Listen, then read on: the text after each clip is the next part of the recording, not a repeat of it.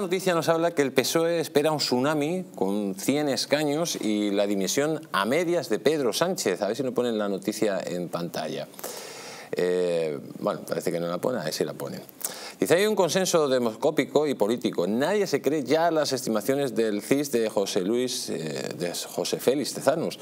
La victoria socialista que pronostica el barómetro del Centro de Investigaciones Sociológicas no solo no es objeto de las tradiciones o tradicionales convocatorias de los partidos para valorar los resultados, sino que estos apenas ocupan un hueco en las conversaciones que los socialistas tienen en privado, salvo para reconocer que son de broma.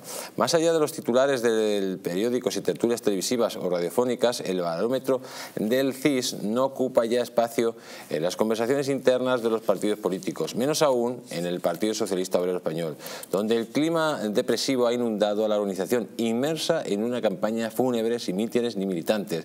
La realidad es que atisban múltiples dirigentes del partido consultados por The es bien distinta. Vamos a tener 100 escaños raspados y viene un tsunami. Nadie contempla una victoria. Todos cuantifican la magnitud de la derrota y la opinión mayoritaria es que no se salvará los muebles. La barrera psicológica de los 110 escaños que sacó Alfredo Pérez Rubalcaba en el 2011, en el ocaso del zapaterismo, queda lejos del umbral aceptable para que el partido no se abra en canal.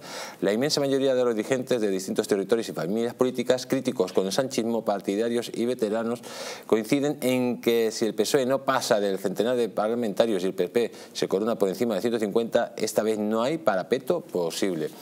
Pues... Eh, ¿Cómo lo ve usted? Un partido socialista después de que perdiera unas elecciones, que quedara con aproximadamente con 100 escaños, con una manada de enchufados que ya no tendrían donde chupar del bote y claro, con mucha gente del Partido Socialista también muy, eh, muy enrabietada con el señor Sánchez porque no están en absoluto de acuerdo con todo lo que usted acaba de hablar, con toda esa política de pactos, de pactar con quien sea para mantenerse en el poder, que tienen que actuar y que quieren acabar con el sanchismo, que ven que no solo es un peligro para España, sino también para el Partido Socialista yo, yo, no lo veo tan así, es decir, eh, Pedro Sánchez ganó las primarias. Es cierto que en las primeras primarias intentó hacer pucherazo, lo pillaron metiendo más votos en la urna de las que le correspondían. Hay que tener cuidado con esas ciertas tendencias que uno tiene y que practica, eh, sobre todo si controla correos y ahora en, en las elecciones.